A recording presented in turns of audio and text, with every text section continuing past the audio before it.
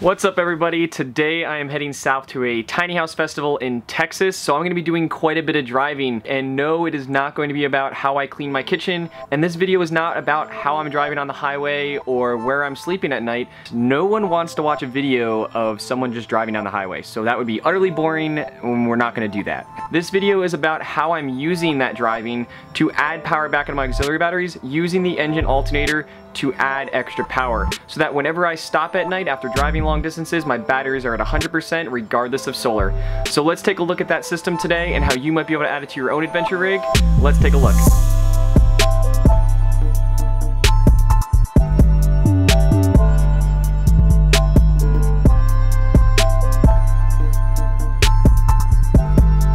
So that's right, we are, let's take this thing off. We are going to be talking about the alternator connection today and how you can get the most out of your driving and generating power without even solar necessarily and be charging your batteries. Also a little bit of a reality check. I'm currently parked in a Walmart parking lot.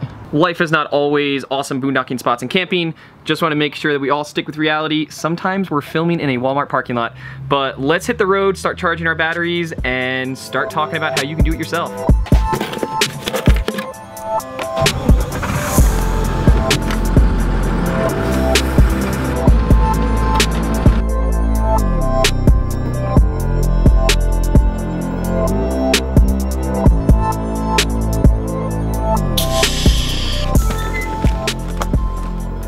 It's officially like, I don't know, like eight hours later. I am somewhere, I think geographically, in the middle of Texas right now.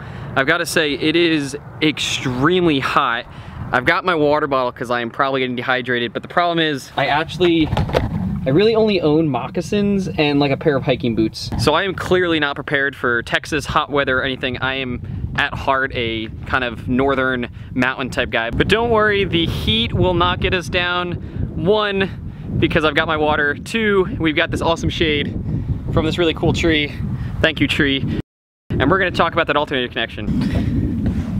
So there's two main reasons why I wanna talk about the alternator connection. The first is, is because a lot of people don't realize that when their engine is running in their adventure rig, there's extra power going somewhere it's just that you're not collecting it. So it is a great option to add this connection in because you're able to then generate the power through.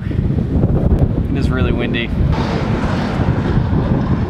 and there's just trucks consistently driving by. I think we can get this in now. So many people out there don't realize that their engine alternator was designed to kick energy back into your batteries so when you crank over your engine, it's recharging and it also is charging your electronics within your vehicle while you're driving. Now, the great thing about that is that a lot of times, especially in these really big rigs like this guy right back here, it is putting out so much extra power while you're driving over long distances that you have the ability to actually capture that energy into an auxiliary battery bank to then be used later. Wait for it. Just, just wait for it.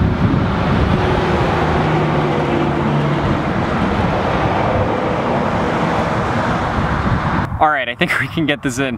Reason number two of why this is such an important thing for you to consider is because it is such a less expensive option than doing a full solar system. Now, it is nice to have solar systems, and I am definitely one to advocate for multiple power inputs into your off-grid system, but for many people out there, it is just way out of a price range for you, and it's not necessarily something that you need when you have the alternator connection anyway. And sometimes it is a great option just to do this rather than spending so much money on solar because well, a lot of times you're driving anyway, so why not just use that power, charge your batteries, and that will get you most likely through the night where you won't have to spend all the money on those really expensive systems. But let's go look actually at the system and I'll show you the actual components so you can get an idea of what I'm talking about rather than just hearing me try to explain how this is really great and useful and you have no clue actually what it looks like. So let's go take a look. So clearly I picked the world's greatest locations to ever film a how-to vlog, but either way it's not gonna stop us. We're still gonna take a look at this engine.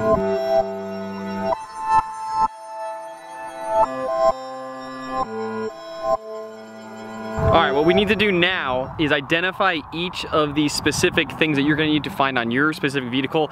Obviously, this is gonna be my school bus, so it's gonna be a little different if you're dealing with a van or something like that. But let's go through the parts really quick and then we'll head inside and talk about how you can do it yourself. My alternator is right there. The next most important thing that you're gonna wanna identify is Your batteries. On school buses, they're on the side, and a lot of vans and stuff, they're gonna be in the engine compartment. All right, and now for the brains of the operation. This is the isolator, the fuse. This is what makes it all happen right here. I've already done the honors of emptying the garage so you guys can see what's back here, but that isolator goes to this fuse, which then goes into these batteries. Alright, so we just went through all the main components very quickly that you're going to want to look for and identify on your vehicle.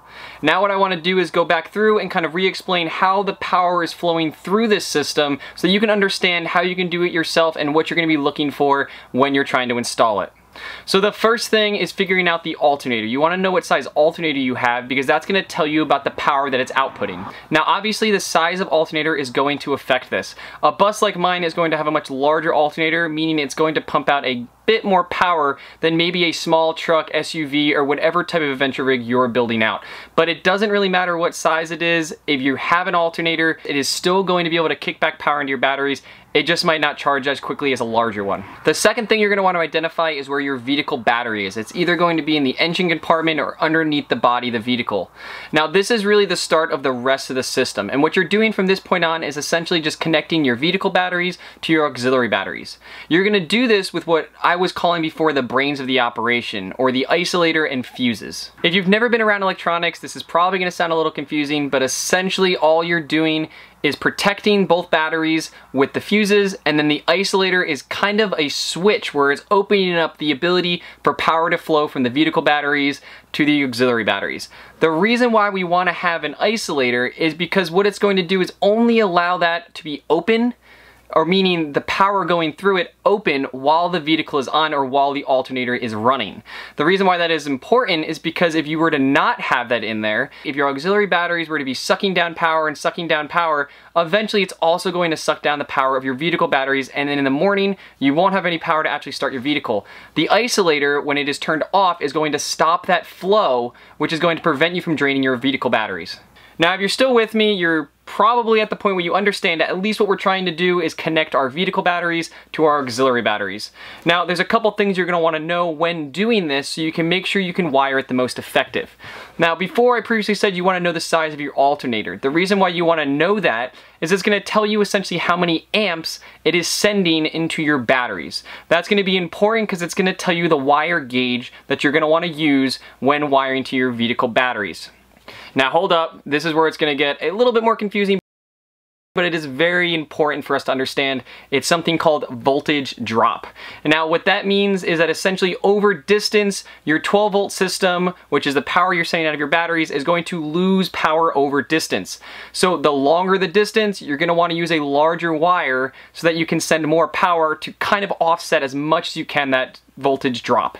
Now, if you're in a van, it's not gonna be a huge, huge concern. If you're in a 35 foot school bus, you've got 35 feet of voltage drop, so you're gonna lose some power there. So just look into the numbers and figure out exactly which wire is gonna be best for you. Now the next thing you're want to think about is your actual isolator. Now the isolator, for it to be on and off when the vehicle's on, you're want to wire it into an ignition wire or into a manual switch that you can turn off and on. This is to be really important because if you want it to turn off when the vehicle is off, it needs to know that. So you need to connect the isolator into the system so that it knows when the vehicle is off and on to prevent you from accidentally draining your batteries and only having the entire circuit open when you actually want it. The real reason why this is such a good option for many people out there is because it is a less expensive option than going through an entire solar system. Now, like I said before, it is good to have various inputs into your system, but if you're more of a real road traveler or just looking for that extra energy on the cloudy days, having this connection can really be a lifesaver because all you have to do to get energy is turn on your engine, flip the isolator on, and then you are then powering up your auxiliary batteries. So it is a great thing to have even if you already have a really good solar system, it might might be something that you want to add into your existing system. So it is time to get back on the road. I started driving a little bit and I just saw this sunset and I just wanted to share it with you because it is, it's pretty good. Oh, I've got to say, today has definitely been one of the hottest days that I've had to experience in the past year. Uh, for anyone who lives in Texas, you guys got some pretty some pretty hot humid days, but this sunset totally makes up for it and like I was just saying, I've got a couple more hours to go until I actually get to my destination. I don't know if I'm gonna make it all the way, but either way, I'm gonna be driving, I'm gonna be charging my batteries, which means it doesn't really matter where I stop because I'm gonna have 100% power. So it looks like uh, we finally got to the destination. Batteries are completely charged, but I think it's pretty apropos that uh, I am currently now in a Walmart and uh, this whole thing started in a Walmart, so I just want to say uh, thank you for watching. I hope you guys enjoyed this video. Remember to subscribe if you want more content, and uh, see you guys next time.